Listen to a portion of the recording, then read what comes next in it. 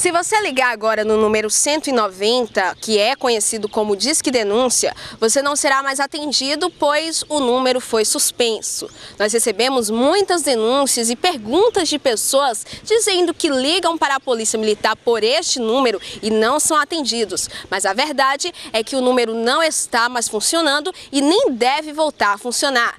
A Polícia Militar conta agora com um novo contato. Nós iremos conversar com o Capitão Cid, que irá explicar a situação e que irá também divulgar o número que você pode ser atendido pelo 18º Batalhão. Nosso serviço da, de 190, ele encontra-se inoperante, ou seja, ele não está mais funcionando. A gente pede para as pessoas que quando necessitarem do apoio policial, da presença da Polícia Militar, que, que liguem através do número 99162-6762. Repetindo, 99162-6762. Esse telefone aí, vão, quem vai atender é o policial militar que estará de serviço na viatura. Ou seja, o atendimento vai ser bem mais rápido e vai ser mais otimizado. Então a gente pede para as pessoas que liguem para este número, que quando não conseguirem, que se dirijam imediatamente até o quartel, aqui no quartel também nós temos policiais que estão aqui, que estão de serviço, que imediatamente passam a ocorrência através de rádio para os policiais que estão em viatura também, porque às vezes a, via, a viatura policial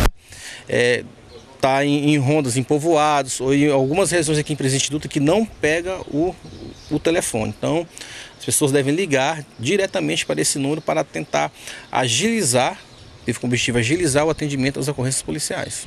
E o 190, ele continuará inoperante ou deverá voltar a funcionar? Não, continuará inoperante e não retornará mais.